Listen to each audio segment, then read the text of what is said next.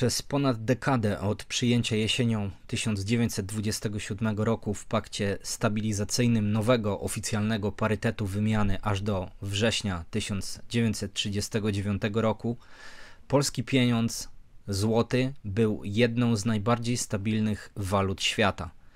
Punktem odniesienia dla złotego nie były inne waluty, ale wartość gromadzonego przez Bank Polski SA złota.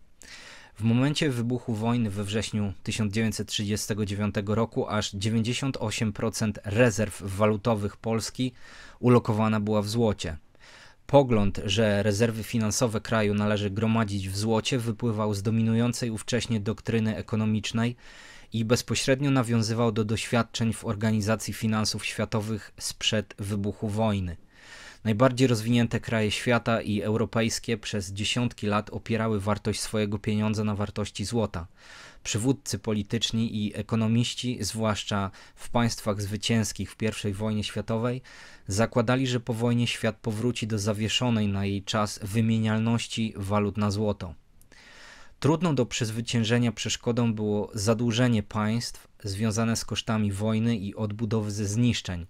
Aby im sprostać, rządy emitowały coraz więcej papierowego pieniądza bez pokrycia w twardych rezerwach, co prowadziło do rozkręcania spirali inflacji. Powrót do wymienialności na złoto wymagał tymczasem nie tylko stabilizacji, ale nawet obniżania cen.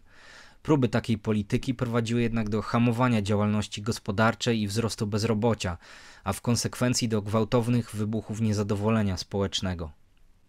W tak trudnej sytuacji znalazła się m.in. Polska, która jako młody kraj na mapie Europy nie posiadała zgromadzonych oficjalnych rezerw nie tylko złota, ale także walutowych. Gospodarka polska przez kilka pierwszych lat od odzyskania niepodległości znajdowała się w inflacyjnym stanie podgorączkowym, który od wiosny 1923 roku wszedł w stadium gorączkowej hiperinflacji. Od połowy tego roku ceny wzrastały w Polsce więcej niż o 100% w skali miesiąca. Wartość pieniądza znajdującego się w obiegu marki polskiej zmalała praktycznie do zera.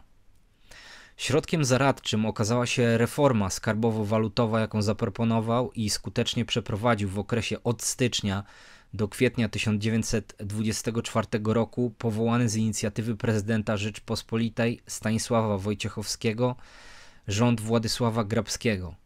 Reforma ta polegała na oparciu wartości nowego pieniądza złotego na wewnętrznych, krajowych zasobach złota i walut gromadzonych w polskim społeczeństwie i przez przedsiębiorstwa w obronie przed skutkami hiperinflacji.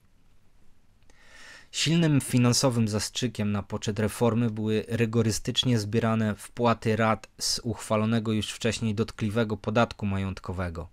Jednocześnie Polska Krajowa Kasa Pożyczkowa, poprzedniczka powstałego w kwietniu 1924 roku Banku Polskiego SA, już od 1 lutego wstrzymała emisję zdewaluowanej marki polskiej i udzielanie dalszych pożyczek Ministerstwu Skarbu.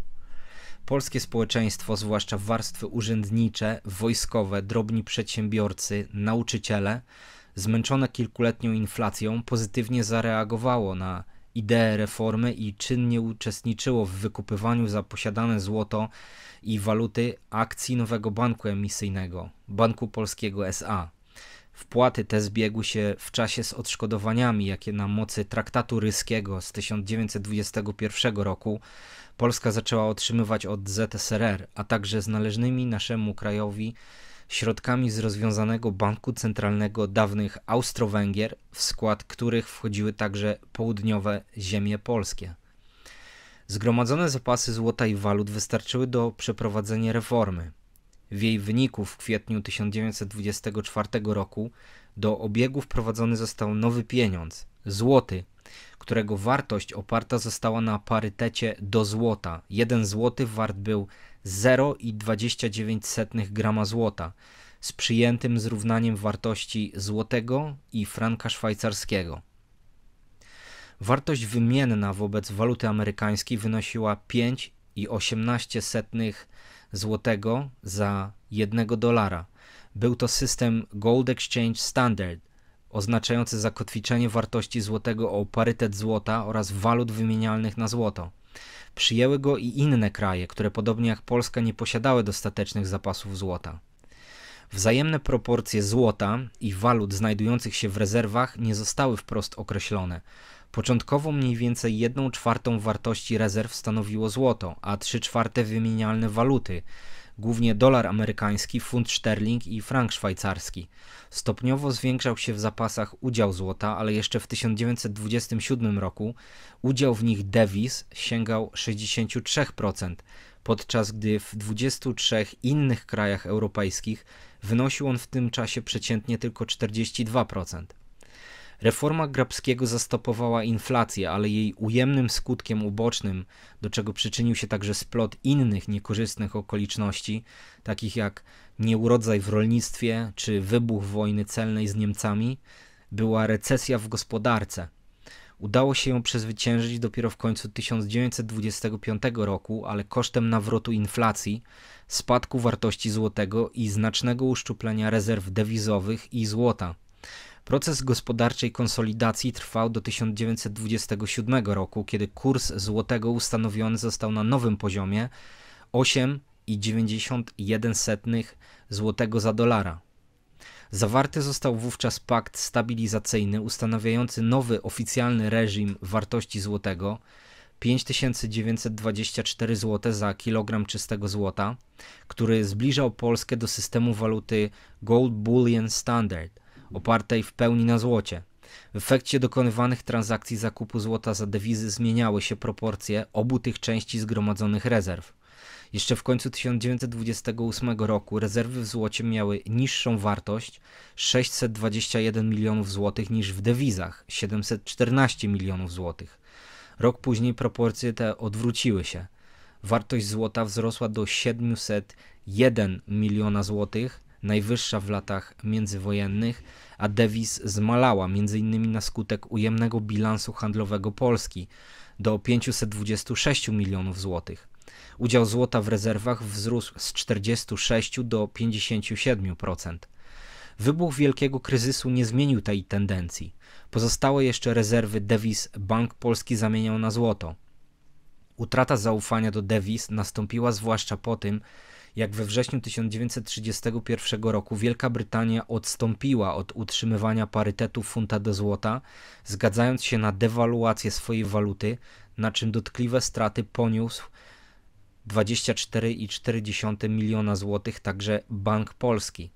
W kolejnych latach Bank Polski wyzbywał się ze swoich rezerw dewiz, zwiększając w nich udział złota. Nie był to jednak jednostronny proces, gdyż okresowo, ze względu na przykład na konieczność spłat rat zaciągniętych przez Polskę kredytów zagranicznych, dokonywane były także zamiany złota na waluty. Nowe pożyczki, jakie Polska zaciągała w latach 30., też miały różną postać: dewiz lub złota.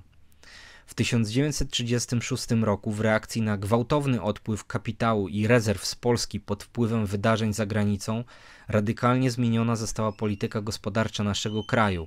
Nowy rząd z wicepremierem Eugeniuszem Kwiatkowskim, mając do wyboru albo dopuścić dewaluację złotego, za czym opowiadał się prezes Banku Polski SA Adam Koc, albo ograniczyć swobodę wymiany złotego, podjął w kwietniu 1936 roku decyzję o wprowadzeniu reglamentacji dewizowych. Decyzja ta ustabilizowała kurs złotego do zdewaluowanego wcześniej dolara amerykańskiego. Do końca lat międzywojennych pozostał on na poziomie 5,3 zł za jednego dolara. Odwróciła jednocześnie przepływ kapitału i topniejące wcześniej rezerwy walutowe netto zaczęły ponownie szybko wzrastać. Z niskiego poziomu 152 milionów złotych w maju 1936 roku podniosły się one do 488 milionów złotych w końcu 1938 roku.